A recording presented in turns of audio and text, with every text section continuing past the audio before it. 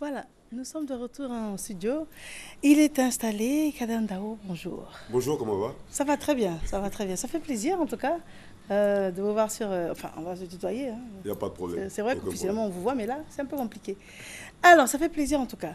Euh, carrière télé, on, on situe cette carrière dans les années 2000 problème. Non, les années 90, c'est 92, 93, 94, je crois, avec, Po- avec Podium et puis toutes les émissions qu'il y avait autour, Midi Ensemble, Mhm. et, et bien un certain nombre, euh, un certain nombre d'autres choses. Alors, de 91 à 2001. 91, 2001, ça a été plutôt l'aventure avec Fréquence 2, la Avec radio nationale. 2. La radio nationale d'abord, et puis Fréquence 2 ensuite. Mhm. Et, et puis voilà quoi. Mhm. Jusqu'à jusqu'à- jusqu'à ce que- jusqu'à ce que je parte du- du- du pays. Quand on dit euh, bonjour le jour, Au Bonjour le jour, c'était, euh, comme on dit, ce euh, ce qu'on fait maintenant, les matinales. Mais là, sur l'ensemble du réseau, à l'époque, on avait la nationale. Euh, Bonjour le jour démarrait à 6 h du matin. Et à partir de 9 h, il y avait la désynchronisation. d'accord Voilà pour, euh, donc, Bonjour le jour, c'était le réveil matinal. Ce qui se fait maintenant sur les, les autres radios de la place. euh, voilà, avec, euh, D'accord. Et si je dis éclat de rire, éclat de Oh, musique? éclat, de, éclat de musique, ça c'était avec Dorothée Adou, je crois. Mhm. Mais je crois que c'est une émission que- qui a marqué tout le monde. Je ne sais pas comment, mais euh, vraiment, je pense que tout le monde a, a apprécié et puis les gens ont aimé. Mais c'est tant mieux.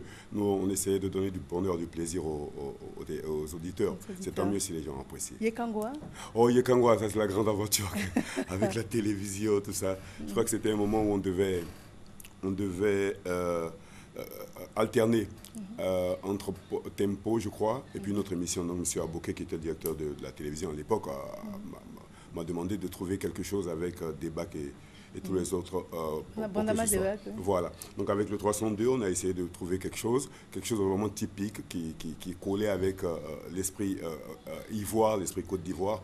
Et on a pensé tout ça à Yekangwa. Et puis, c'est comme ça que Yekangwa est parti. est parti. Ouais. Et midi ensemble? Au midi ensemble, c'est un peu ce que vous faites maintenant là. C'est midi, c'est un peu, euh, c'est midi un peu, c'est c'est midi spécial. D'accord. Et ce midi est, est total. Moi, Mhm. j'aime bien votre, votre façon de, de mener, de mener ce midi. Donc, c'est euh, c'est ce midi en moins, en moins, en moins, éclaté, en moins éclaté, quoi, avec des invités que nous recevions, tout cela. Et moi, je me suis arrangé pour mettre des rubriques à l'intérieur, Mhm. euh, comme Droit dans les yeux, Midi rétro, pour euh, euh, parler un peu de, de, de ces sommités-là, de, de l'art, de, la culture, Mhm. euh, qui, qui ont d'une façon ou d'une autre fait, fait notre, la, la culture et l'art dans notre pays. Et puis, il y avait aussi, comment dire, droit dans les yeux, recevoir quelqu'un sans, sans, sans tabou. on parle de tout, on se pose toutes les questions, on se dit toutes les vérités. Ça, c'était droit, dans, droit dans les yeux. Voilà. Et bien évidemment, Podium, hein, Oui, est un carrefour incontournable pour les références en ce qui concerne Oui, c'est, l'animation. oui, c'est sûr. Podium, ça a été une belle aventure. Moi, moi, je, je l'ai apprécié à, à- à tout point de vue. J'ai beaucoup retenu, j'ai beaucoup appris. Et surtout que j'avais avec moi, euh, comment dire, Bandama Debak, euh, Traoré Amadou Sekou, paix à son âme, Soumaro Kanate, paix à son âme, euh, Jeff Aka, Jeanne Faelou. C'était la grande équipe, quoi, la, la grande équipe de vainqueurs. Et puis moi, je venais là, de tout, de tout le, le Benjamin de l'équipe, j'étais obligé de les regarder. Moi, je- na- naturellement, je, moi, je suis un homme de radio. Donc, c'est grâce à M. Issa Sangari Yereso que j'ai découvert euh, l'univers de la télévision qui m'avait plu. Et puis bon, moi, j'ai, continué avec les conseils ça et là, avec des bacs et toute l'équipe qui avait autour de moi. Bon, forcément, c'était un peu compliqué pour moi d'échouer. J'espère avoir réussi la mission qui m'avait été assignée euh, quant à Podium avec tout, tout le monde. Avec tout le monde. Alors, à cette époque-là, quels étaient les autres animateurs? Oh, a- En fait- Podium, c'est qu'il y avait Yves qui faisait Podium et puis qui partait de Podium. Mhm. Donc je crois que la télévision avait besoin de quelqu'un, bon, d'un jeune qui peut-être faisait un peu l'unanimité autour, ou que les autres jeunes écoutaient pour conduire l'aventure avec euh, euh, Tonton Bouba. Avec Tonton Bouba. C'est ainsi que le choix s'est porté sur moi. Euh, Donc j'ai eu le privilège de conduire l'émission. Maintenant, vo- votre question, c'était quels étaient les animateurs à l'époque, à radio ou télé? Les deux. Oh, Les deux Les vedettes Oh, les vedettes. Oh. Mais il y a de base euh, euh, Barthélémy Nabo qui était là déjà. Barthélémy Nabo, il y avait Serge aussi, euh, qui Serge faisait un magazine du midi. Et puis, euh, qui d'autre? Baba Cool, que je salue au passage d'ailleurs. Euh, qui d'autre qui avait comme animateur? Et puis d'autres comme Govei qui était, qui était là dans, dans les starting blocks, qui, qui attendaient que, le, que le mouvement se fasse. Et puis dès que le mouvement s'est fait, je pense euh, qu'ils se sont installés. Govei, euh, comment dire, Da Silva, vous-même, euh, c'est- la qualité, il n'y a, rien à dire, il n'y a, pas à redire. Bravo et félicitations pour tout. En tout cas, merci. Voilà. Mais ce qu'on aimerait savoir, c'est avec un profil intéressant, avec des opportunités en ce qui concerne les émissions. Pourquoi, pourquoi partir? Moi, je fais les choses sur les coups de tête. Je décide des choses, des choses qui me plaisent, euh, qui, qui, qui, qui, me, qui, me font vibrer, qui, qui, qui, touchent à mes sensations. Je ne réponds pas, moi, aux, aux, aux besoins des autres par rapport à moi. non, les besoins des autres par rapport à moi, ça, c'est leurs besoins. Je prends des décisions. Parfois, je peux me tromper. Je me suis trompé plusieurs fois. Mais j'ai aussi cette qualité-là d'assumer mes choix, même quand je me trompe. Si je me trompe, c'est la responsabilité à personne. Donc, je prends des décisions. Si elles sont bonnes, c'est bon. Si elles ne sont pas bonnes, je les assume. Mais il faut, à certains moments, par rapport à certaines situations, prendre des décisions. À un certain âge, il faut y aller.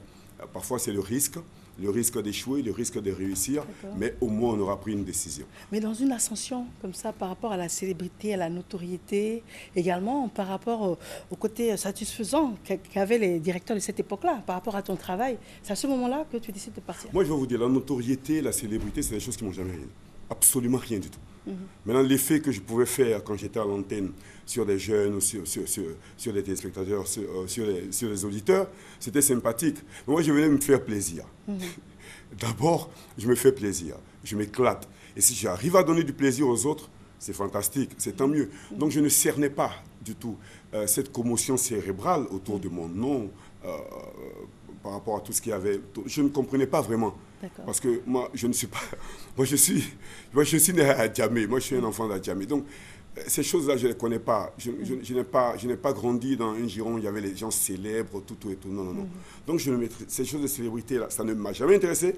Ça ne m'intéresse absolument pas. Je fais ce que j'ai à faire. Si je peux apporter du plaisir, si je peux aider à, à changer un certain nombre de choses mhm. euh, sur la terre des hommes, à, à rendre des gens heureux, c'est magique. Moi, j'y vais. Maintenant, la célébrité, ces choses-là, c'est des choses vraiment relatives, quoi, que je ne maîtrise pas vraiment. D'accord.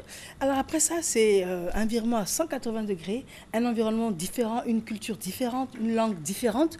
Vous choisissez de vous installer aux États-Unis. Oh, mais en fait, c'est toute, une longue histoire, cette histoire des, des États-Unis. À un moment, ici, euh, en matière de radio et de télévision, j'avais le sentiment d'avoir fait le tour, la boucle. Euh, parce que je ne sais pas si vous l'avez suivi, euh, entre euh, la fin des années 90 et le début des années 2000, on ne pouvait pas échapper à ma gueule. Mhm. si vous n'aimez pas ma tête uh-huh. à la télévision, vous allez m'entendre à la radio. Si vous n'aimez pas ma voix à la radio, vous allez me voir à la télévision. C'était mhm. compliqué. Donc j'avais fait le tour très très rapidement. En 10 ans, pratiquement, j'avais fait le tour. Toutes les émissions radio, toutes les émissions de télé. Et je, profite là pour dire merci très rapidement à à comment dire, M. Kodounion Balé, M. Mamadou Berté, euh, euh, Ahmed, Touré, Jacques Billet, hein, euh, Soro Solo et KF, des gens qui m'ont guidé, qui m'ont aidé à être ce que je suis aujourd'hui. Donc, donc, c'est cela. Voilà comment les, choses fonctionnent. Quoi. Mm-hmm. voilà. Votre question, c'était laquelle Quand je, là, je m'emballe un peu, je là. Alors, c'était le fait de changer totalement d'environnement Ah, d'environnement par rapport aux États-Unis. aux États-Unis. J'avais envie de faire quelque chose d'autre. J'étais fatigué. Mm-hmm de la télévision, de la radio. J'étais un peu fatigué de tout ce qui tournait autour, autour de cela. Mhm. Et puis il y avait le, star system que vous évoquiez, que je ne, comprenais, je ne comprenais vraiment pas ce qui se passait. Peut-être ai-je mal négocié cette starmania là qu'il y avait autour de moi, peut-être je m'en excuse. C'est sûr aussi que j'ai fait de la peine à, certains qui, qui, qui, qui s'attendaient à tout sauf à un départ aussi, aussi, brutal. Voilà, aussi brutal. Mhm. Mais c'est bon, je, je, profite de votre antenne, antenne là pour dire toutes mes excuses à ceux, qui, qui, n'ont pas apprécié que je sois parti comme ça, peut-être sous la pointe des pieds, mhm. mais qu'ils comprennent que c'est sur la pointe des pieds que moi je suis rentré à la RTI. Donc peut-être devrais-je partir sur la pointe des pieds. Euh, alors, aujourd'hui, euh, vous êtes de passage chez vous, donc en Côte d'Ivoire, mais vous vivez aux États-Unis. Vous vivez toujours aux uh-huh. États-Unis. vous travaillez là-bas. vous travaillez là-bas, euh, chez un concessionnaire. Mm-hmm. Euh, une vie très, très différente de la vie des médias. Oui, c'est ce que je disais, c'est des choix, c'est des, choix, qu'on fait. Mhm. Parfois, ils ne sont pas toujours les meilleurs, mhm. euh, mais il faut les assumer, il faut, il faut continuer la route. C'est sûr que vivre aux États-Unis, ce n'est pas évident parce que c'est une culture différente, mhm. un système différent. Ça te prend deux ou trois années déjà pour t'insérer dans un circuit, pour suivre le système, pour le comprendre, le réaliser et puis s'affirmer soi-même. Ce n'est pas du tout évident, c'est sûr. Ça m'a pris un bon moment. Bon, je crois, j'ai essayé de faire ma route et je la continue encore. Maintenant, si elle est bonne, j'en profite, je profite des bons moments. Mais dans les moments tristes, il y en a partout, partout au monde. C'est la même chose, il y a des hauts, il y a des bas. Mhm. Mais, mais j'assume mes choix. C'est important. Alors, vous êtes euh, revenu chez vous et vous êtes venu saluer, euh, bien évidemment, la maison. La maison. Oui. Oh, mais ça, je ne manque pas de le faire. Je le fais tout le temps quand je viens. Et puis, je dois tellement à cette maison-là. Je dois tellement à la, mm. je dois tellement à la télévision. Euh, je vous salue bien. je dois tellement à la radio. sans, sans, sans, Didier, Didier Bléou, donc euh, directeur de Fréquence 2, euh, vous demande donc de présenter une émission. Oh non, mais Didier, notre relation remonte à avant qu'il soit, qu'il commence à la radio. Il était encore à Campus FM, tout ça. Mhm. Quand Jean-Jacques Varel et lui, me, avec euh, euh, euh, Martial aussi, Martial Ancienne, il, me, il me foutait la rouille, les trois. les trois avec leur passion, leur envie de venir à la radio, tout ça.